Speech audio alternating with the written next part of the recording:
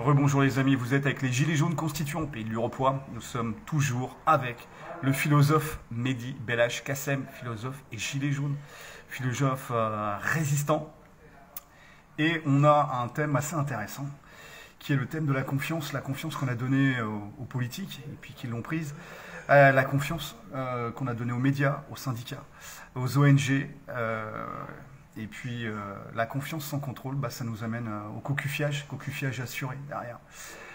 Alors euh, c'est un peu grivois bien sûr, mais on a la chance d'avoir un, philosophe avec nous et on en profite.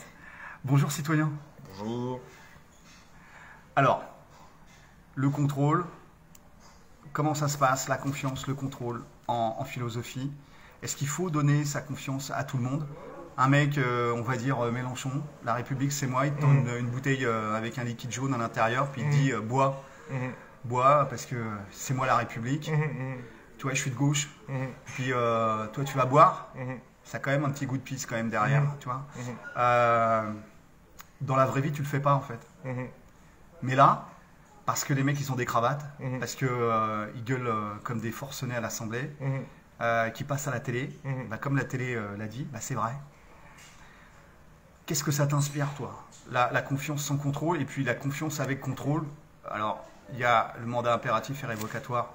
Il y a les commissions citoyennes pour auditer le, travail euh, des députés, des politiciens, euh, et puis leurs dépenses. Mais il y a aussi euh, les commissions citoyennes pour auditer le travail des, des médias, des mmh. merdias, mmh.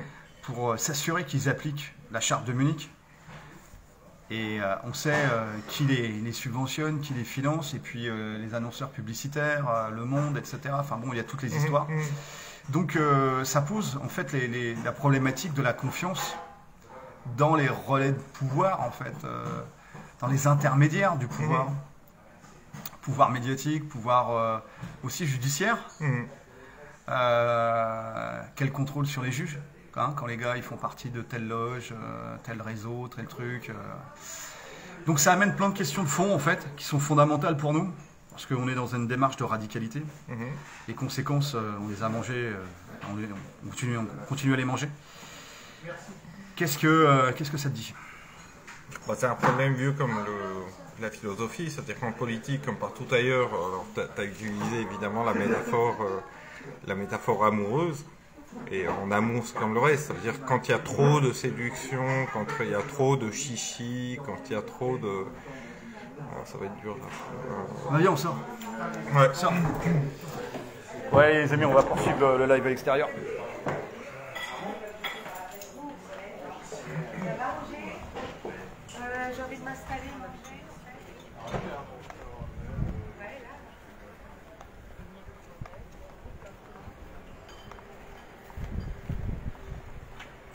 Bon, on va reprendre le live avec euh, le philosophe Mehdi Belash Kassem.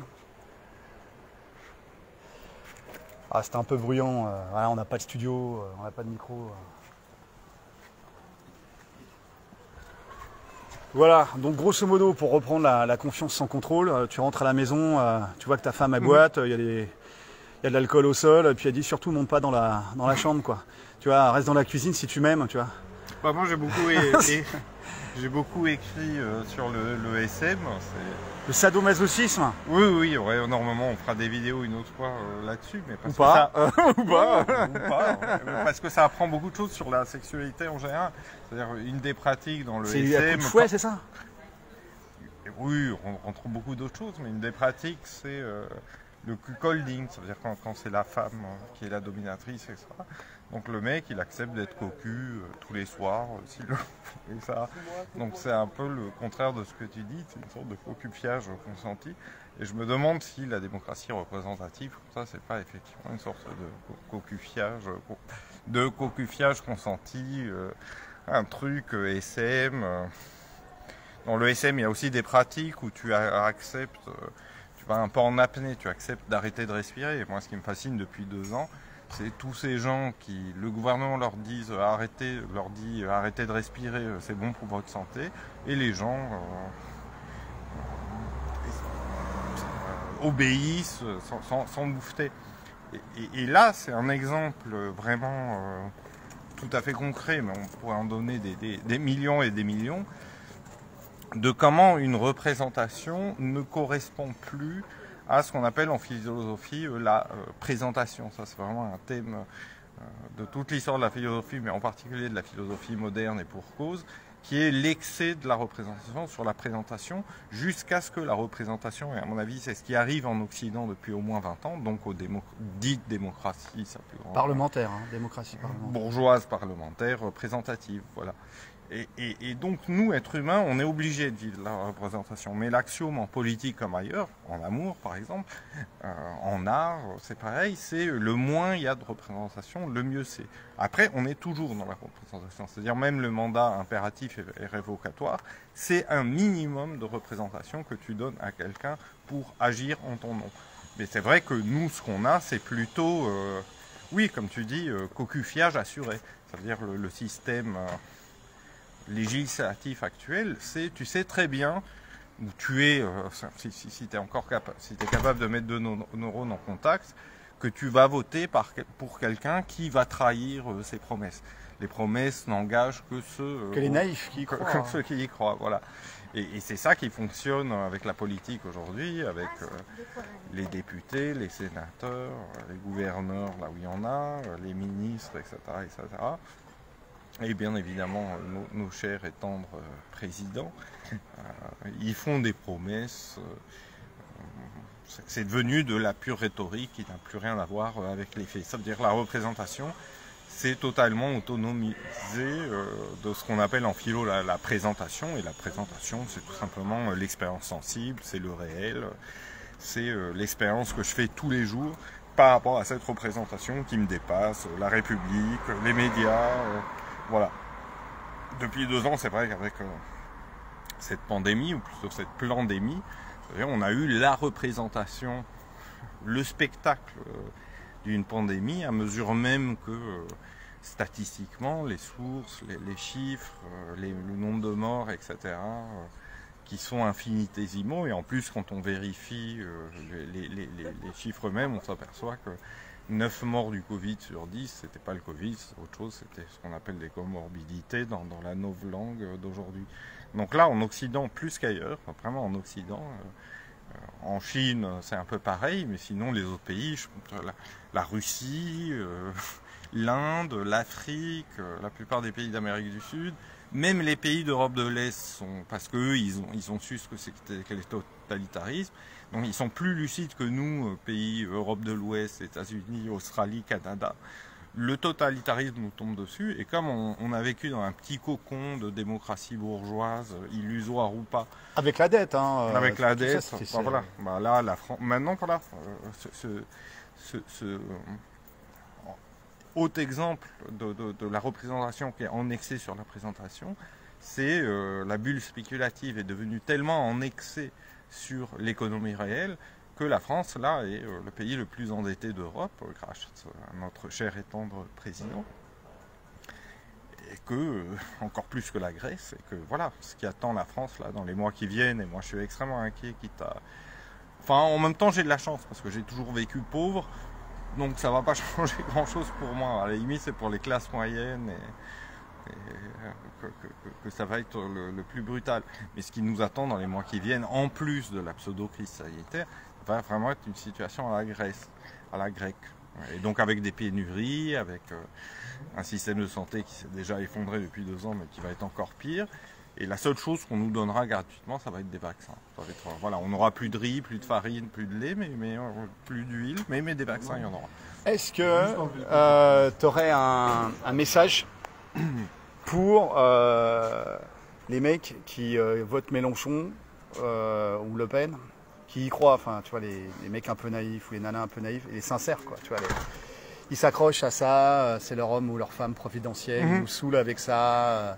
Bah, s'ils avaient été intelligents, ils auraient fait. Non, par rapport au cocufiage, tu vois. tu vois le... bah, s'ils n'avaient pas voulu se faire cocufier, ils auraient marié respectivement leurs deux idoles, ils auraient fait alliance contre l'extrême centre. Ça veut dire que. l'extrême fascisme, parce que là, on a un fascisme bancaire. C'est ce qu'on disait, c'est le, fascisme au sens strict, c'est la fusion de l'entreprise et de l'État.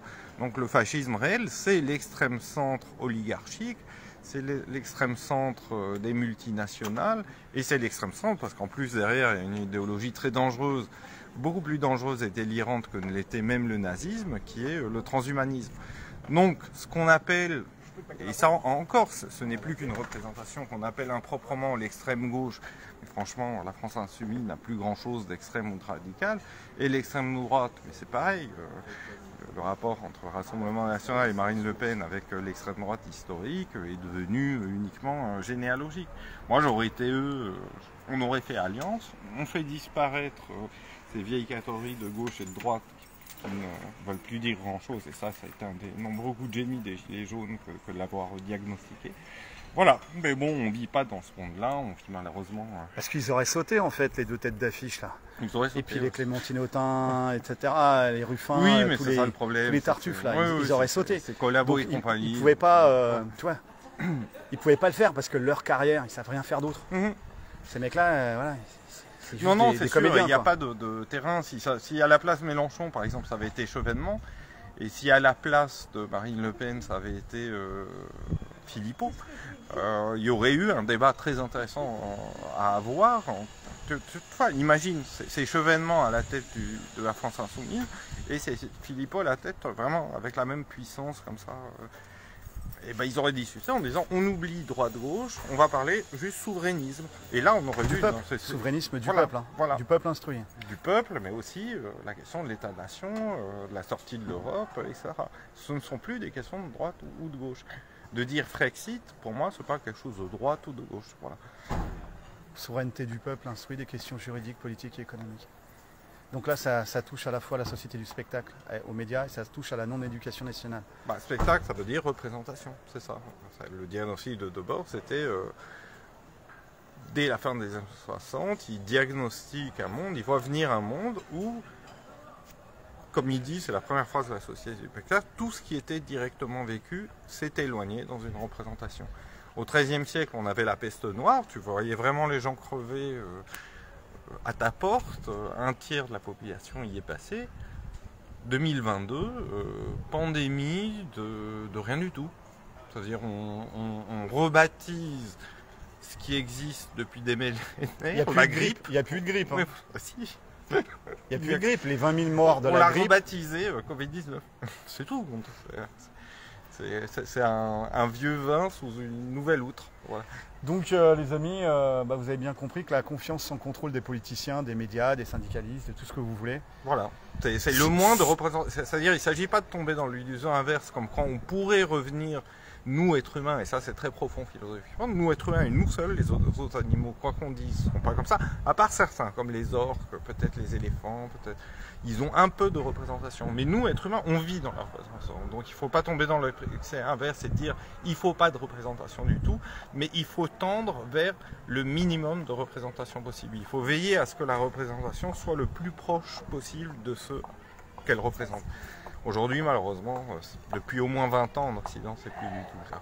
Il y a un abîme entre les représentations de toutes sortes qui nous nourrissent quotidiennement dans notre rapport au réel et au monde, et qu'il y a vraiment un abîme euh, entre ça et ce que nous vivons euh, réellement. C'est ça le grand problème contemporain. Et donc ça nous amène sur la table à la problématique des outils de contrôle de la confiance, hmm. du contrôle de la représentation au sens large. Bah là, je passe la main aux gilets jaunes constituants eux-mêmes qui sont beaucoup plus doués que moi. là, c'est moi qui suis on va passer la main à l'intelligence collective, à tous les collègues. c'est bien ce que j'ai dit. Dans, euh, dans les commentaires. Là, il n'y a pas. Non, non, mais là, moi, je suis très hostile à la figure du philosophe froid. Du philosophe... Voilà, mon, débat avec ma polémique euh, très violente avec Badiou porte là-dessus.